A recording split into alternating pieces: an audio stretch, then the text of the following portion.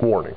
The procedures in this video produce large quantities of toxic gases and deal with highly corrosive acids. All work must be performed in a fume hood with proper safety equipment, and all apparatus must be glassed to withstand the acids. Greetings, fellow nerds. Nitric acid is an extremely useful acid capable of dissolving copper and silver. In this video, we're going to show you three approaches to making it. For the first method, we start with about 80 grams of a nitrate salt. We're using sodium nitrate, but you can also use potassium nitrate, ammonium nitrate, or even a nitrate-based fertilizer as long as it passes the nitrate test we showed you in a previous video. Alright, add around 50 milliliters of water to your nitrate and try to dissolve as much of it as you can. Then, carefully add 100 milliliters of hydrochloric acid. Give it a few minutes to settle, and in this larger container, place 50 milliliters of water. Now place the acid mixture inside the larger container like this. Now get at least 32 grams of copper, and access is better, and pour it into the acid mixture. Now place a container large enough to fit over the inner container, but small enough to fit inside the outer container into the apparatus. And now, just wait. The copper reacts with the nitric acid and nitrate mixture to generate nitrogen dioxide gas that flows out and is forced into the water mixture where it dissolves and produces nitric acid.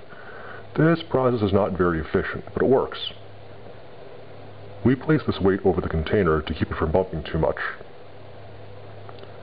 This took about an hour, so we'll skip over that part.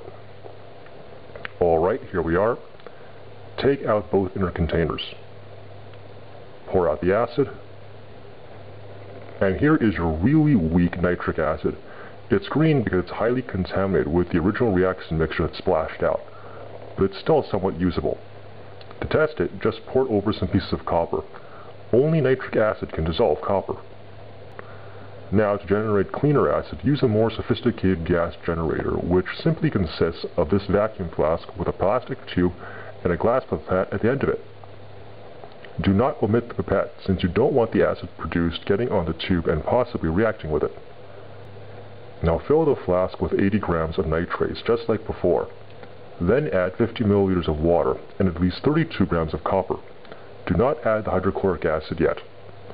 Our mixture in the video is turning green because we use recycled copper waste from our lab. If you use clean copper, this shouldn't happen.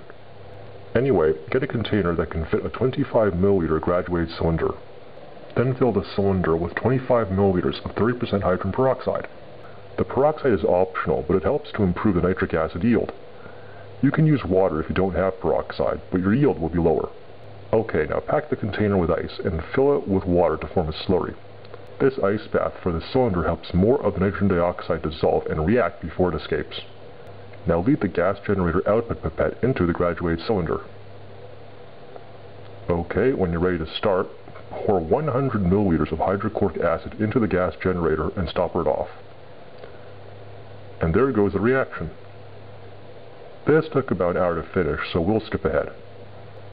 Now simply take apart the apparatus and get your acid. And here it is. Still dilute, but stronger than the other method and very clean. You can test the acid by pouring it over copper. Now we can't predict the concentration of the acids you'll obtain because everyone's setup will be slightly different. But if you want highly concentrated acid, you can distill the acids by fractional distillation to obtain an acid of 70% concentration. You cannot go higher because nitric acid forms an azeotrope with water. But as you can see here, concentrated nitric acid is still extremely reactive. Now for both methods, lots of copper was used, but copper is pretty costly for the amount of acid you get. But you can actually recycle the copper to use again for more acid. Get the dead reaction mixture and simply add aluminum metal. This is going to produce lots of heat and hydrogen gas, so be careful. We use aluminum foil, this is actually pretty expensive. It's actually cheaper to use aluminum cans that you've sanded off the labels. Okay, keep on adding aluminum metal until no more metal dissolves. Then take out all the extra aluminum bits and filter off the mixture. The solid product is copper. It's highly contaminated with aluminum metal, but it's still very usable to make more nitric acid. Alright, in this final method, we're going to make nearly pure nitric acid. First, get a round bottom flask and fill it with about 50 grams or so of a pure nitrate salt. Do not use impure fertilizers for this. Get your condenser ready for the acid. Now add concentrated sulfuric acid to the nitrate. We used 100 milliliters so you could see on camera better, but this is far too much. You can use stoichiometric amounts to save on the valuable sulfuric acid. Attach a still head with a glass stopper at the end. You can install a thermometer if you want, but this is optional. Now get a high temperature oil bath ready, and with water in the condenser on, turn on the heat. What's happening is the nitrate salt is reacting with the sulfuric acid to create a sulfate salt and nitric acid, which boils out of the mixture, driving the reaction forward. The brown-yellow color of the gases results from some of the nitric acid decomposing into nitrogen dioxide, oxygen, and water from the heat. The acid on the left is yellow due to nitrogen dioxide contamination, but this is very little. The acid in there is actually stronger and purer than the concentrated acid we showed earlier. Now the whole distillation took an hour, so we'll skip over that part. And here we have our nearly pure nitric acid. It's also called fuming nitric acid for this reason. If you blow air into it, it fumes. Do not inhale. Okay, now something surprising about pure nitric acid is that if you add it to copper, it actually reacts pretty slowly. This is because pure nitric acid is so strong that it actually reacts with copper to form a protective layer that resists further attack.